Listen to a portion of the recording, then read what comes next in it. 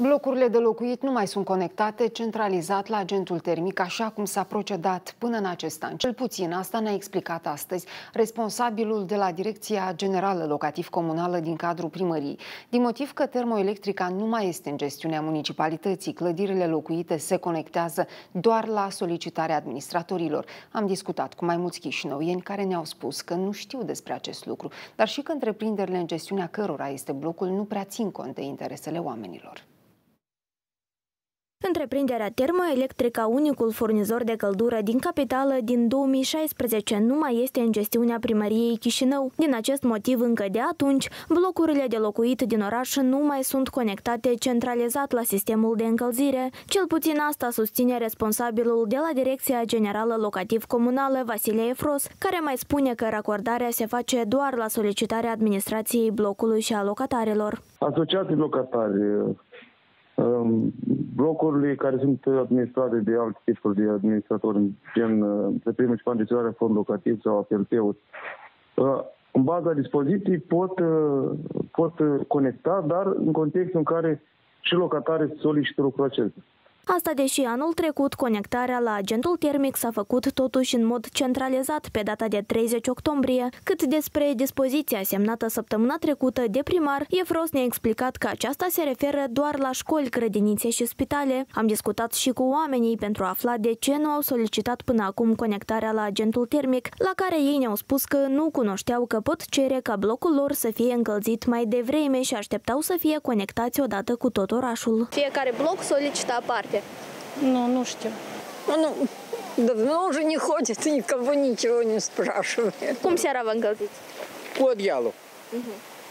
Uh-huh. Afară e mai cald, vă încălziți la soare. Dar pe afară au căldură. E noapte, dar noaptea și îmblă drumuri cineva tot să îi o gheal și să încălzesc. Unii orășeni, deși știau că trebuie depusă o cerere la termoelectrica, așteptau ca acest lucru să-l facă administratorii sau întreprinderile în gestiunea cărora se află blocul. Dar, potrivit lor, funcționarii de aici nu prea se interesează de problemele oamenilor. Пока не пошел, и, видимо, обещали нам с 22-го включить отопление было объявление. Знаете, у нас ЖЭК. И, в общем-то, как-то вопрос такой не стоял. Ну, Угу. Наверное, включат, обещали же. Угу. Жек. А вы вот хотели бы, чтобы... Чтоб, да, чтоб да, да. Почему? Потому что холодно. Ну, я с этим справляюсь, тепло одеваюсь, но все равно как-то не очень комфортно. Trebuie să dai uh, cerere scrie. Și o să fie. Tragem nădejde la... Dar acum, acum, e frig? E frig, foarte frig.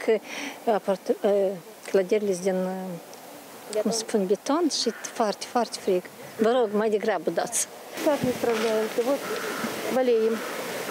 Potrivit regulamentului, cel puțin 51% dintre locatarii unui bloc trebuie să vrea conectarea la încălzire atunci când se scrie cererea. De exemplu, în acest an, la solicitare către câteva blocuri a fost livrată căldură încă în luna septembrie. Există și o altă fațetă a lucrurilor. Am sunat la una dintre întreprinderile municipale de gestionare a fondului locativ pentru a afla când caloriferele din blocurile gestionate de aceasta vor fi calde. Doamna inginieră ne-a spus însă că există o problemă la nivel de aprovizionare aprovizionare cu gaze naturale. Nu, nu depinde de noi. Noi tot am prezentat la termoelectrică, dar din pricina că nu se conectează căsăngeria sus, asta la telecentru nu ne poate conecta. Cauza că e pe gază. Ceilalți care se alimentează în oraș și este la...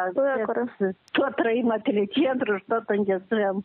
Am discutat și cu serviciul de presă de la Termoelectrica. Potrivit responsabililor de aici, în momentul de față este pornit încă un bloc energetic, ceea ce va permite până la sfârșitul acestei săptămâni conectarea încă 500 de consumatori la căldură, inclusiv pe cei din zona telecentru. Din cauza situației de criză, Termoelectrica a trecut începând cu data de 15 octombrie pe păcură. Stocul disponibil de 800.000 de metri cubi a fost epuizat însă timp de 3 zile. Ulterior, guvernul a aprobat eliberarea încă 16,5 mii de tone de păcură din rezerva de stat. Ieri, într-un comunicat de presă, Termoelectrica a anunțat că 1040 de obiecte racordate la sistemul centralizat de termoficare beneficiază de încălzire. Este vorba despre peste 140 de grădinițe, 109 școli, 41 de instituții medicale, aproximativ 550 de blocuri, dar și 44 de case particulare, mai sunt încălzite 24 de universități și 130 de agenți economici. Până acum, doar o treime dintre blocurile locative sunt conectate la rețeaua de încălzire.